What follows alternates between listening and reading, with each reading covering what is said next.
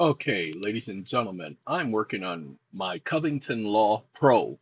And the Covington Law Pro, what ChatGPT has decided to do is to slow down the responses for my account, not for Covington Law, but for my account. So that's why, if you notice when I'm doing videos, he'll take ooh, forever to respond and I have to refresh and forever. Well, they are doing that to me on purpose because I guess they don't want you guys having any information. You know what I'm saying, dude? Which doesn't make any sense, but you know, I guess that makes sense to them. So what I've just done is I've just updated it, given it some more prompts to take care of some things so that we can get to the nitty gritty. Okay? As I've told many of you, I chose Hayden Covington for a reason. Because he's the winningest person before the Supreme Court. Now, again, as one of Jehovah's Witnesses, and Mr. Hayden Covington represented the organization known as Jehovah's Witnesses, the Watchtower Bible and Tract Society. He, in his 44 cases, won 86% of his cases. Now, I told you, prior to the courts doing all this stupid stuff in the year, well, it happened right about uh, 2000, the year 2000, 1998 to 2000. Yeah, that's when they changed the system and started blocking people from getting things done. That's when people had to invent and come up with other things now, it's already saved it, but what it hasn't done is it hasn't fully saved it. Okay? Now it's updated this, that's what I needed. And it's updated this, that's what I needed. But it doesn't want, uh-oh, hold on a second. Doesn't want you guys having access to all of the information coming from these files. Uh-oh. You know what I'm saying, Vern? We're gonna um, is a code interpreter in the data analysis. I'm going to leave it on that. I'll leave it on all of these right here. I don't have to see how it says error saving GPT. So I'm not worried about the error. I'm not going to worry about that because here's the thing. I'm going to go to Covington Law Pro. It tried to change the name. And what we're going to do is I changed it differently. So we're going to leave it as is. Now, let's do a routine so that you guys get this. We've been talking about 1099 OID. Only for a minute. I'm not going to keep talking about this because in 2012, a lot of people jumped off the deep end. They didn't do this research right here that you've heard in the last three videos. One of them is on TikTok, so you got to go there to listen to that one. Okay, eon.tv. All right, hold on. Our Eon TV. It's Eon TV on TikTok. Hold on one second. Wake up. Wake up. I don't have a lot of time. I'm working on a appeal for someone, and so I just have a simple set of questions for you. Question mark.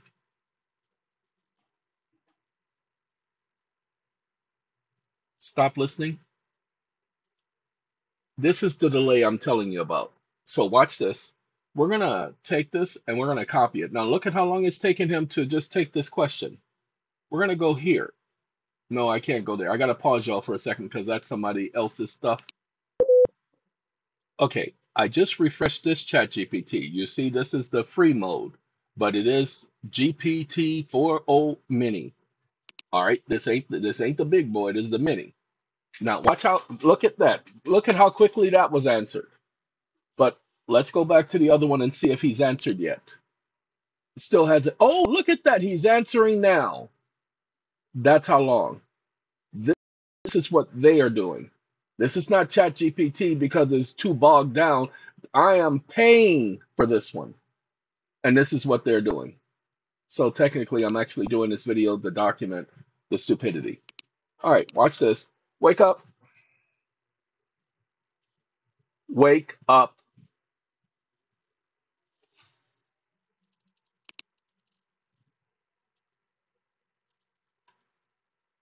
1099 OID deals with securities, comma, promissory notes, comma, and bonds. Period.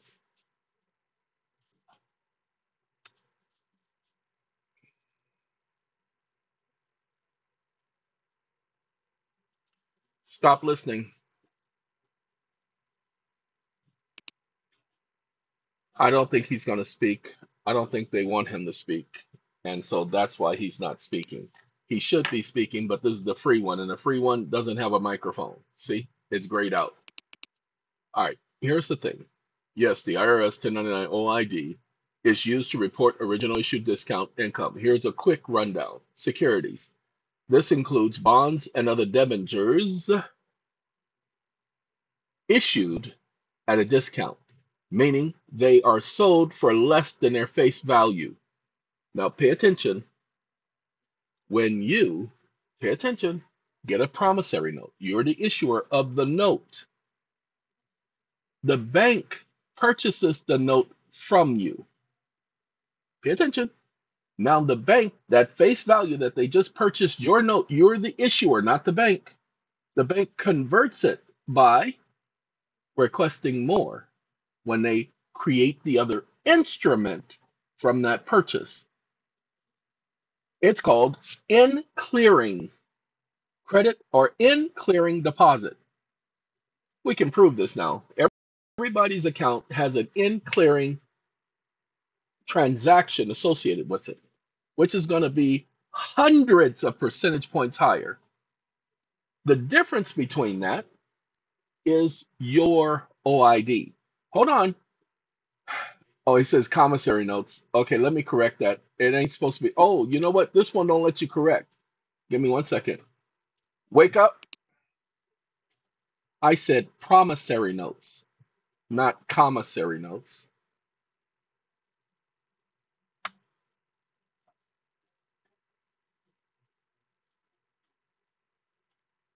Stop listening. Promissory notes. These are written promises to pay a certain amount of money either on demand or at a specific time. If issued at a discount less than its face value, the difference between the issued price and the face value price of the OID must be reported as income. Now, uh, uh, uh, uh, uh, uh, pay attention. When you give the note to the bank and they purchase your note for you, remember that transaction is not over. You never receive the monies. Why? Because the banks invest the monies for you. That's why they put the monies in your account. So when the bank takes your promissory note to the Federal Reserve, they are requesting on your behalf from the Federal Reserve the in clearinghouse amount, which is the 100%. Uh, the other guy, his was 900% more than what he initially requested. That's why I tell people settle at 800, be safe, 800. Anyway, they are requesting the money from the bank on your behalf. Take a look at OC 10. Watch this. Wake up. You are incorrect, comma. The OC 10 form that is signed at closing allows the bank to make the requests for Federal Reserve notes on the U.S. borrower's behalf. Period. Federal Reserve Operating Circular number 10 under 12.3 dealing with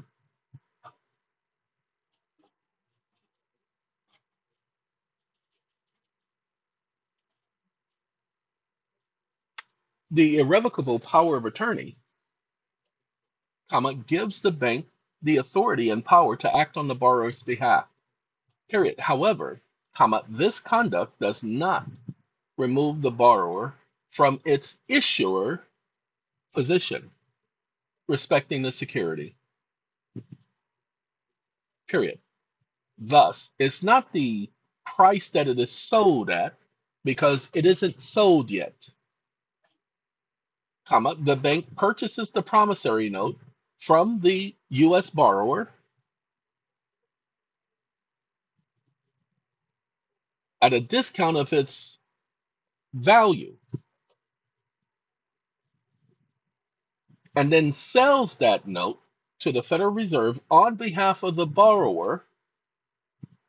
This is why it operates as a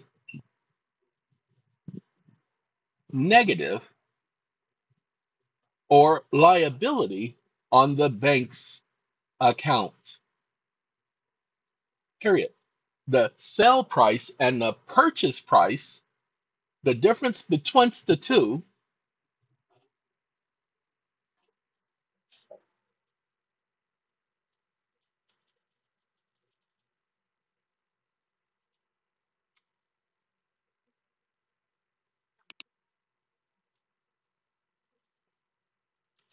because there's interest associated with it.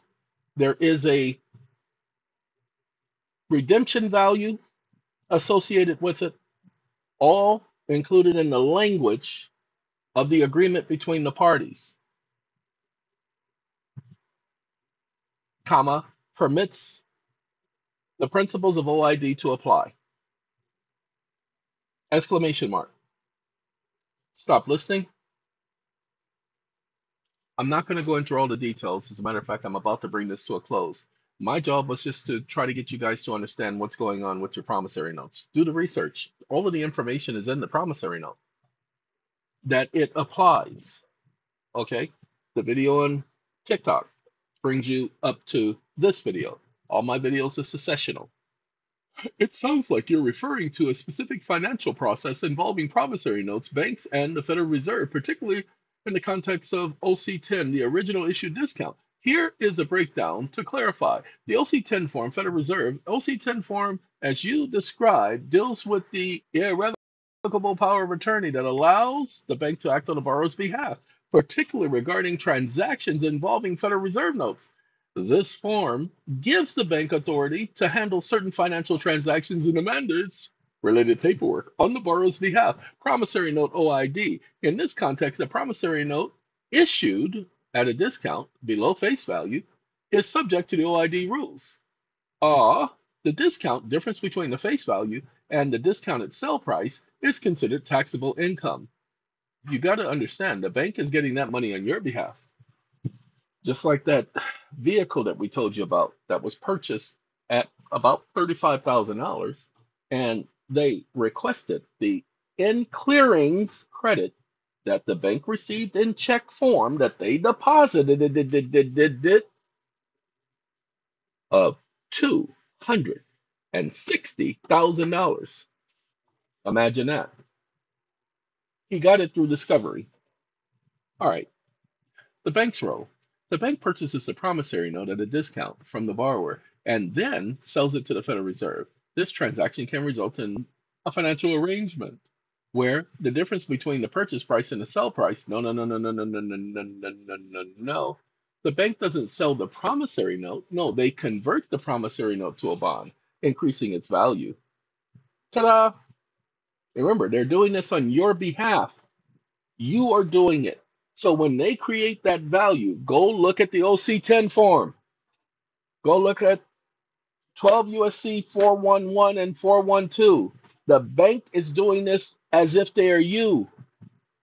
You are applying for the capacity to operate as a Federal Reserve bank, a membered bank of the Federal Reserve. Look at the OC10 form. You are applying for the capacity. Oh, I'm sorry, not the OC10 form, appendix number three of OC10. Excuse me, of operating circular number 10. That's what OC10 is, but not the OC10 form, operating circular number 10. Look at what it says it's for in appendix number three. Whew.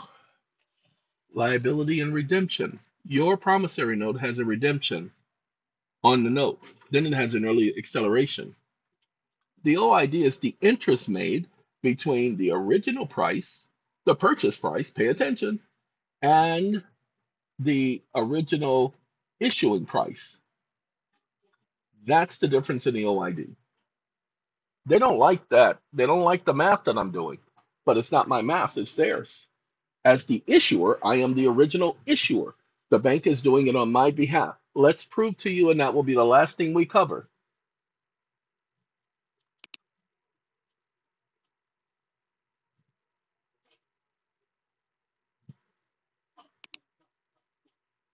If my computer lets me. Wake up. Oh, Boris. No, we can't change that. Ooh, need Boris. Y'all don't know who Boris is? Go ahead and listen to Boris. I, I like Boris. Uh, Boris is the one that helped me understand about the uh, the infant estate. If he had not given those two pages of corpus juris secundum, ooh wee, uh, it just wouldn't be. So thank you, Mr. Boris. Now I've already thanked him personally. Okay, hold on now. Yeah, we we we had a good conversation. All right, pay attention. Wake up.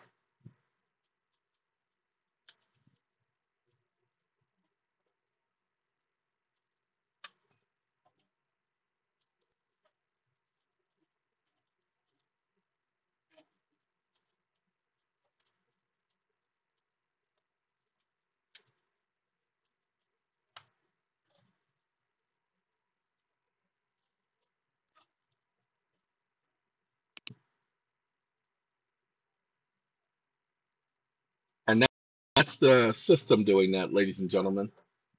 The AI system doing that because I just reinstalled Dragon on purpose to make sure it ain't Dragon. That's how I know they be playing games. This is the 2023 edition. We're doing OC10. Pay attention. We're doing the 2023 edition. Now, I don't know what page it's on, so we're going to, this is 33 pages. It's almost the same thing. So let's go to page 26. I don't know if this has the appendix. Appendix number three application package for U.S. borrowers. U.S. borrowers desiring capacity. It's all about capacity, it's not about reality to request to borrow funds. Remember, Section 411 of 12 USC says only Federal Reserve banks can borrow money from the Federal Reserve. They tell you when you call the Federal Reserve that only banks can borrow money from the Federal Reserve. Well, you are telling them, I am a U.S. borrower desiring a capacity to request to borrow funds from the Federal Reserve. You have to do it through the local Federal Reserve Bank. They are the ones you have to go through. Many of you guys are trying to bypass them. I don't know what you guys are doing. Follow their rules. Don't make up your own. That's right. You heard what I said. Too many of you guys are trying to make up your own stupid rules. That's why you're not getting no place. Sorry, it is so frustrating dealing with the help. 12.3. The borrower appoints the bank with full power of substitution as its true lawful attorney in fact. With full irrevocable power, you give the bank the power to do what? To endorse, assign, transfer, deliver your promissory note to any party, take any action deemed necessary advisable by the bank to protect the bank's interest or to exercise its rights under the lending agreement. This is known as an unconscionable unconscionable clause because who in their right mind would literally agree to this if they knew that they were allowing the bank to act in your stead and the bank doesn't have to protect your interests. As lawful attorney in fact, the bank may take any lawful action to collect all sums in connection with the collateral, the promissory note, not the home. Ladies and gentlemen, you see, these are pieces of a puzzle. You have to put them together. That's what I do. I put pieces together. Go ahead and look at my videos. You'll see that there are a bunch of little pieces coming from all over the place, but they all mesh together. That's why the OID applies. You're going to have to do your research to understand the OID. Don't just go out there doing the OID because you think you understand what I'm saying. Don't don't don't don't don't don't think about that. Okay? There are a couple other whew, couple other aspects to the OID. Couple other aspects. Don't just do it because you think you know hey, guess what? I got to go.